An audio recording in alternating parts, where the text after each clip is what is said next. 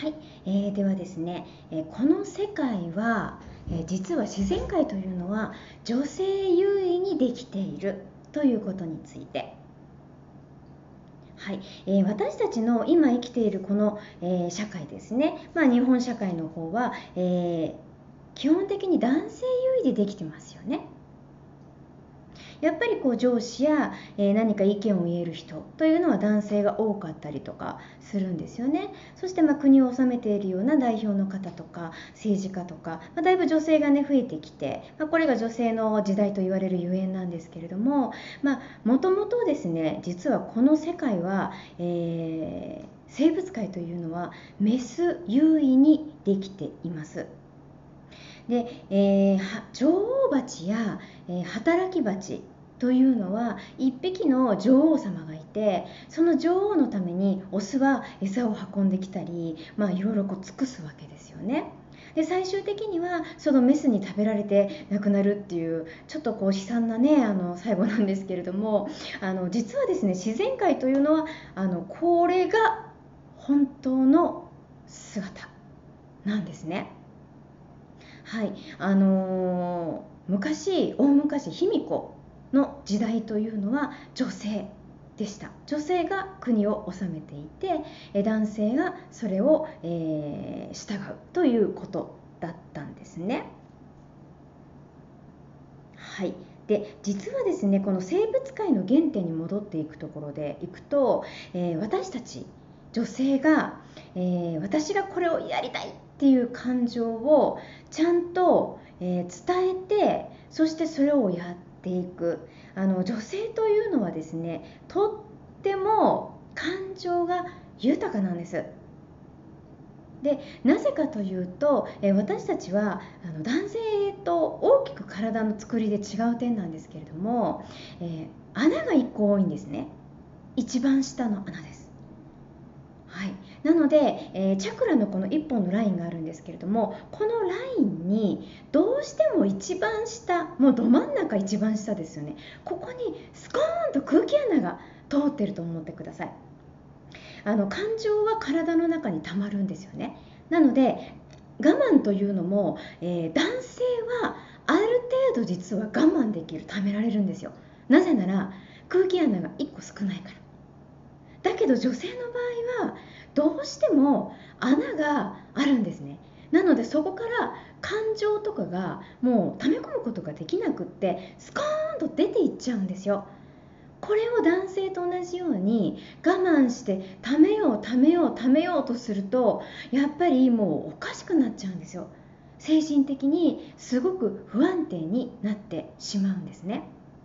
でここでいう精神的な不安定というのはあの女性というのはやはりあのこうボーンと爆発的なものでキャーとかイヤーとかそういうふうなことをパーッと出るんですね。だけどパッと出てパッと収まるんですよ。引きずらないんです本来は。なのでパッと出てヒステリーみたいに思うかもしれませんけれどもこのヒステリーが出てそれですぐ収まる。のであれば全く問題ないわけですね。はい。なのでですね実はこの一本軸が通ってえ感情を、えー、豊か感情豊かに生きることによって、えー、お金や、えー、パートナー、え家族人間関係全てが整っていくんですね。先ほどもお話した、えこの生物は女性優位じゃない。だから例えばじゃあ家庭の中で、えー、奥さんが女性が、えー、とても、えー、自分の感情豊かにやりたいことをやれてるってなると、えどんどんどんどんお金ってその女性だけじゃなくても家族全員が回り出すんですね。はい。えー、ですねじゃあ感情の、え漢字のお話になるんですけれどもなぜですね女性は感情が豊かなのかというとこの「始まり」という漢字これ女編がついているんですね。女編に土台の台って書くんですよ。なので物事の始まりは女からなんだよ土台は女なんだよっていうことを表しているんですよ。はい、でその他に、えー、感情的なもので、えー、喜び好き嫌い。えー、妬む。そねむ。そして怒り。ですね。これ全部女編がつくじゃないですか。だから女の人っていうのはやっぱりすごく感情豊かなんだよっていうことなんですね。はい。そしてこの努力の「度」この字女編の「股に力」って書くじゃないですか。はい、で股というのはまさに一番下、まあ、女性器第一チャクラ子宮の力ということなんですね。なので、えー、この一番下の、えー、力子宮がみなぎった状態になるといざという時に努力できるよ踏ん張れるよってことなんです。なので、えー、この女性器子宮が、えクリアになっていない状態だったらこの努力というものが本、ともとできないということなんですよね。すぐに力が尽きてしまったりあやっぱり私はダメなんだってすぐ手放してしまう。ということです、まあ、踏ん張りができないということですね。はい、では先ほど、えー、男性が、えー、家族がどうやってこのお母さんとか奥さんとかの、えー、子宮を整えることによってお金が回り出したりうまくいくのかというと実はあの男性って子宮ないじゃないですか。じゃあどうしたらいいのっていうとこれは女性の子宮を投影して物事を現実化するんですよ。はい。なので男性が一番すべきことはとにかく女性を大切にするということです。はい、じゃあパートナーがいない男性はどうなるの？というとこれはお母さんです。